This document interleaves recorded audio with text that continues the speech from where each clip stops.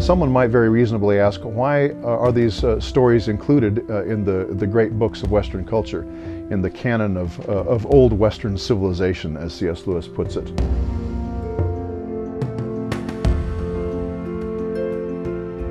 It's fairly easy to demonstrate that the, that the Iliad and the Odyssey, and especially the Iliad, um, have been uh, among the greatest uh, uh influences on the Western imagination. Tradition identified his birthplace as possibly Smyrna, uh, which is uh, not far from Ephesus on the west coast of Asia Minor. Achilles is so overcome and so overmastered by his anger and his pride uh, that there's a, a tr tremendously tragic consequences. So the Iliad is a tragedy. It's the story of a great man's failure.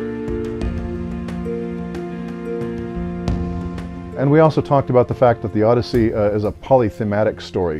that is, it has parallel tracks running at the same time that are brought together uh, into one thread two-thirds of the way through the, through the book.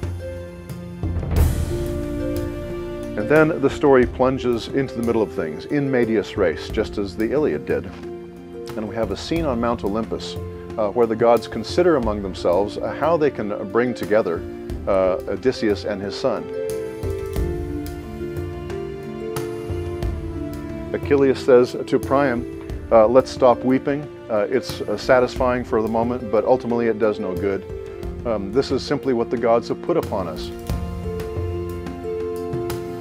But Odysseus says, I want to tell you something, Cyclops. It's not nobody who put out your eye. It is me, Odysseus, son of Laertes. My home is in Ithaca. I'm famed for my cleverness throughout the world. He identifies him, gives him his phone number and email addresses and, and everything.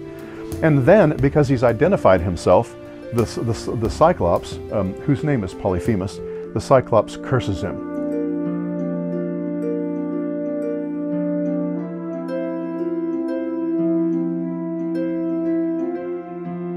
For several for a couple thousand years, uh, Western culture uh, always understood that a knowledge of Homer uh, was, uh, was essential, was required in order to call yourself truly educated.